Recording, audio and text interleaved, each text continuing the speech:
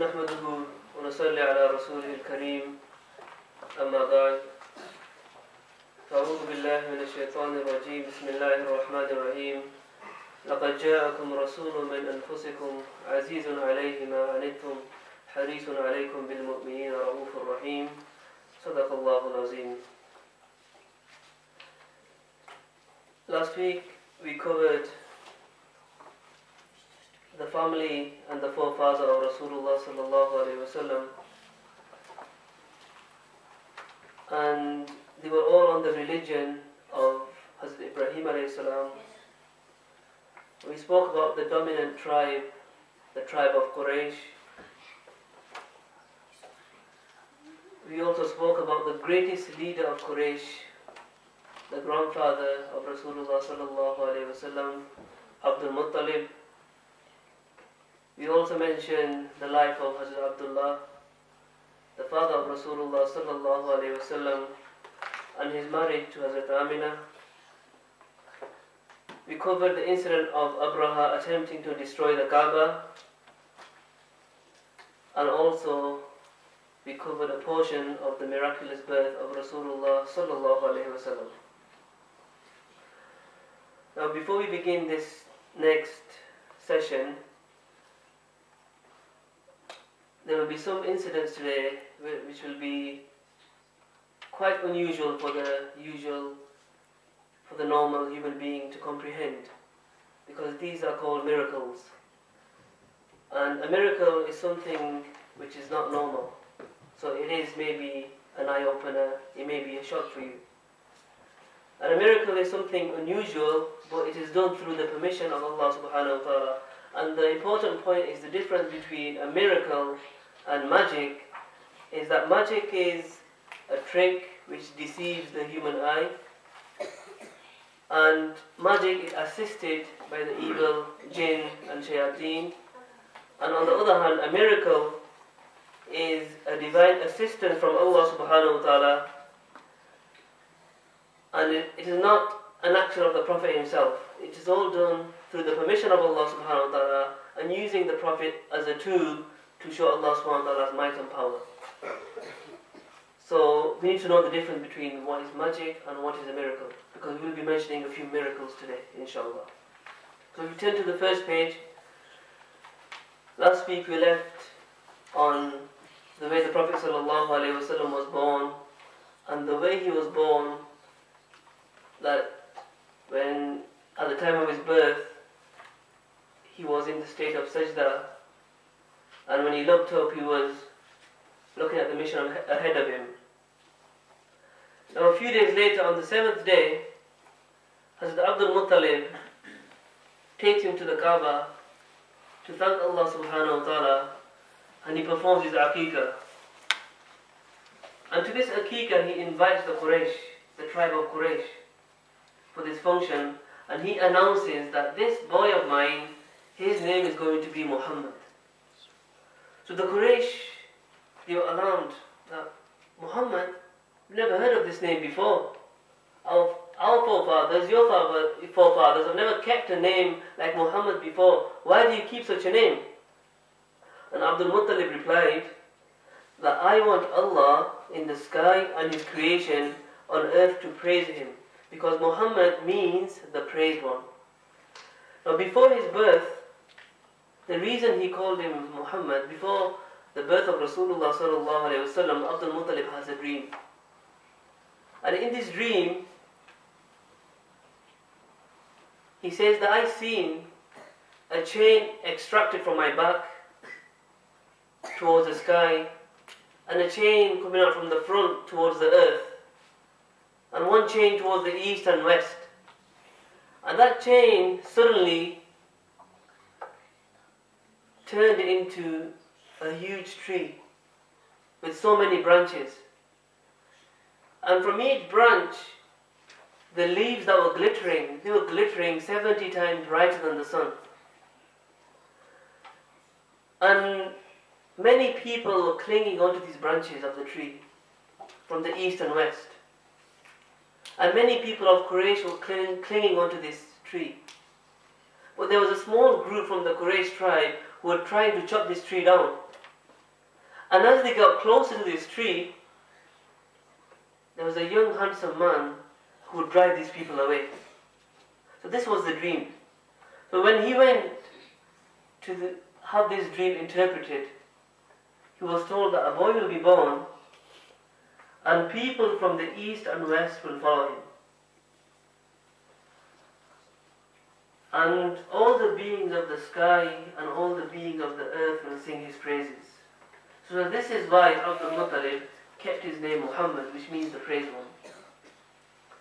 And this actual concept of Muhammad being praised lives with us today. We live in the era of the Prophet Muhammad being praised on a daily basis every minute of the day.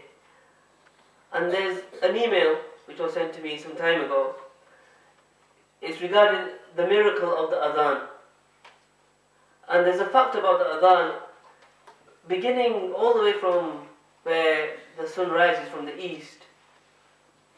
At 5.30, the Fajr Adhan takes place in Indonesia. And at that time, thousands of other cities in Indonesia, they begin the Adhan. And as the sun is moving, it goes on that by the time they finish Adhan in Indonesia, Malaysia start the Adhan. By the time they finish in Malaysia, it goes to India.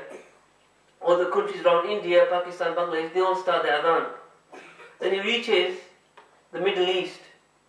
And it reaches Africa. By the time it gets to Africa, the time begins in Indonesia again.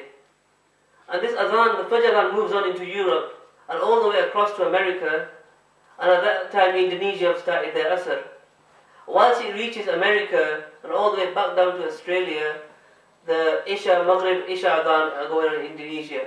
So throughout the whole day, there's not even one moment where the Adhan doesn't take place. And what do we mention in the Adhan? Ashadu anna Muhammad Rasulullah. Prophet Sallallahu Alaihi Wasallam is being praised throughout the day. Even now when we're sitting here, some places Fajr is being called out. Dhuhr is being called out. Asr, Maghrib, Isha, all these adhan in their own countries, at their own time, they've been called out. There's not even a single minute which passes by in the day where the adhan is not being called out. This is a miracle within itself. We live, we live in this day and age. Now, and this praise will continue until Qiyamah. So after that, it was the custom of the Arabs to circumcise their children because this circumcision began from the time of Hazrat Ibrahim salam, who circumcised his son Hazrat Ismail salam. So all the followers of Hazrat Ibrahim salam, the Jewish religion, the Christian religion, the Muslims, they performed circumcision. The, the correct Christians which used to follow the creed of Ibrahim, they also, also used to do circumcision as well. Now there's two different opinions one, Prophet was born circumcised.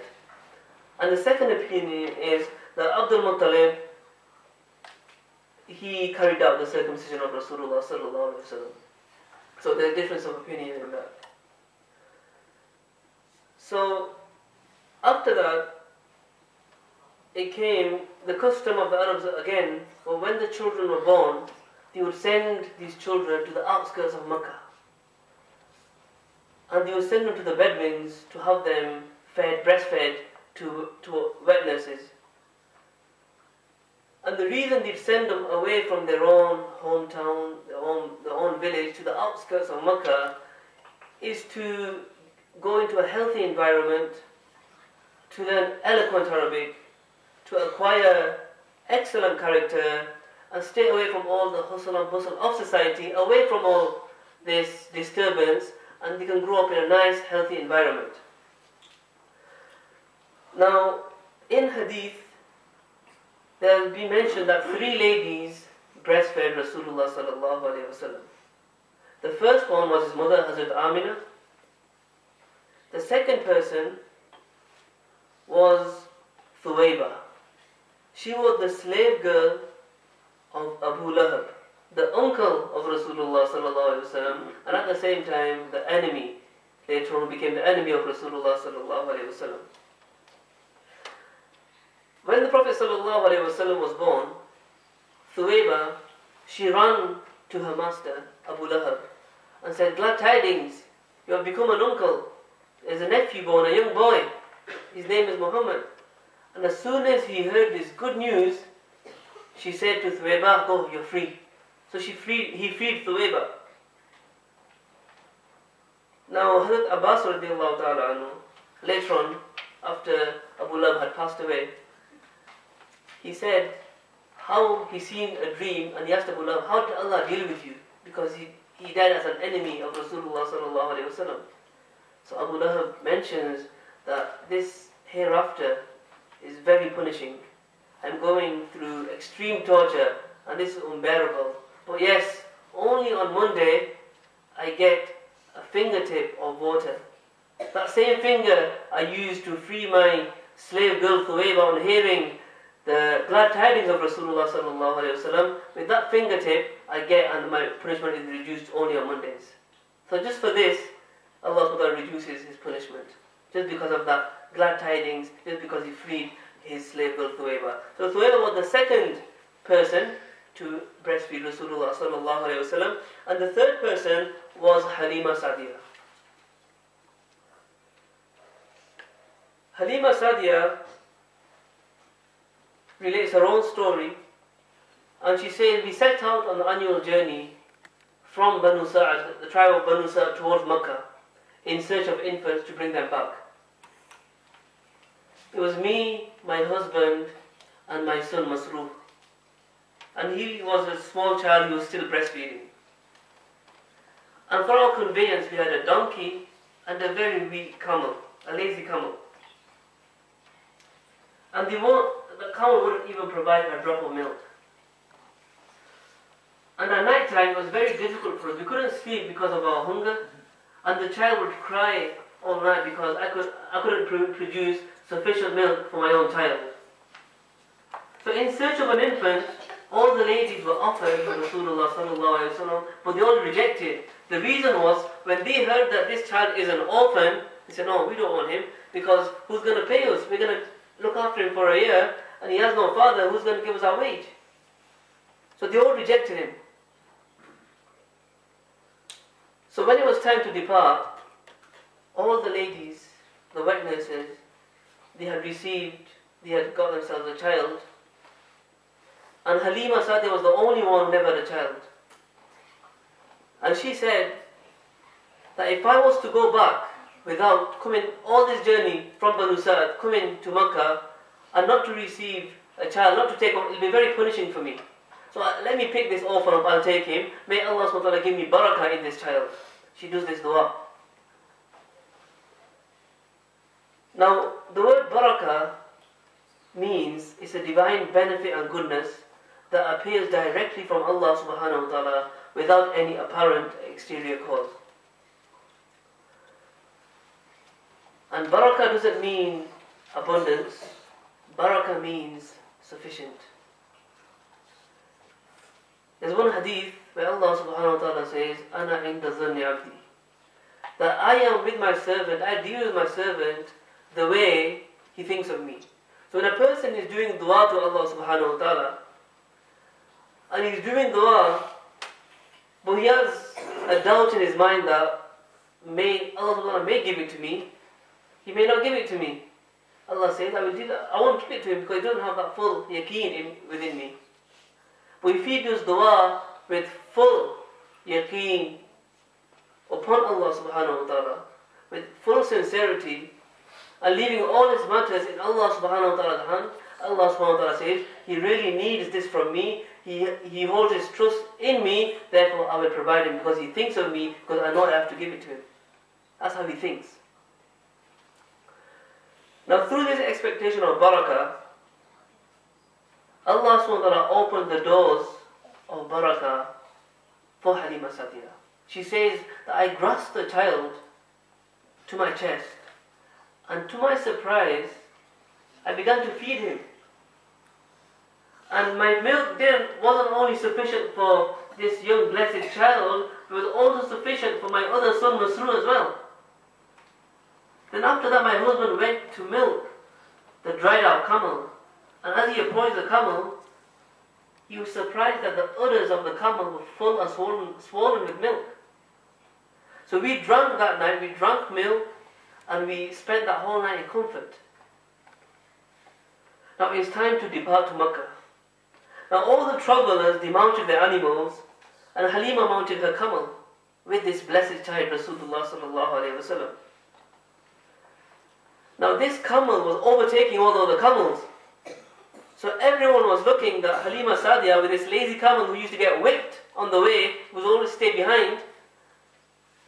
And she said, Oh Halima Sadia, it is that same camel, it is that same that Toyota, engine inside, it's that same thing. So she said, I swear this is the same camel. I haven't changed my camel, it's that very same thing, that very same camel which I used to whip on the way here, but now it's overtaking, is because of this child. And as they returned to Banu Sa'ad, that was the only region at that time which was hit with a drought. And when Halima Sa'ad used to send her goats out to graze, and when they would return, all the other goats, they would return dried out with no milk, and Halima Sadia's goats, they would come with udders full of milk. So they decided, okay, we're going to send our goats to the same place where Halima Sadia sends her goats, got a different place for her goats. So when they would send the goats, the same place with the same goats with Halima Sadia, when they would return, again Halima Sadia's goats were full of milk and the others were dry. This was the blessing of Rasulullah upon the family of Halima Sadia.